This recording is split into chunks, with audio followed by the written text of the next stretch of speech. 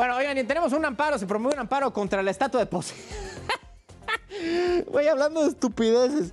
Alguien tramitó un amparo en contra de la estatua de Poseidón que se puso en el mar de Puerto Progreso, allá en Yucatán. Eh, el amparo fue presentado por un indígena de hablante maya llamado Carlos Orlando Pérez, mi tocayazo, y respaldado por la organización Litigio Estratégico y Estratégico Indígena que está en Oaxaca. Este, esto es, ¿qué, es- qué estupidez. La demanda dice que Poseidón pertenece a la mitología griega y es completamente ajeno a la maya, cuya deidad del agua es Shak. Carlos Pérez dijo que él tiene derecho a que su cultura sea respetada y preservada, honrando sus propias deidades.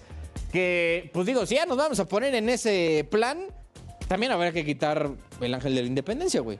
Porque la figura del ángel de la independencia, la victoria alada, está basada también en la deidad Nike, o que pues, otros conocen como Nike, ¿no? Que es la, dios- la diosa de la victoria. Entonces, exacto, la de los tenis, muy bien, nuevo, muy bien. Qué bueno que estás poniendo atención, güey. Me da mucho gusto saber que estás poniendo atención. Madre.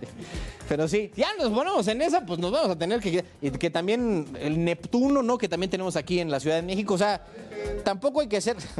tampoco hay que ser idiotas, ¿no? También se vale encuadrar esto en un rango de sensatez. Pero bueno, ¿qué quieren que yo les diga?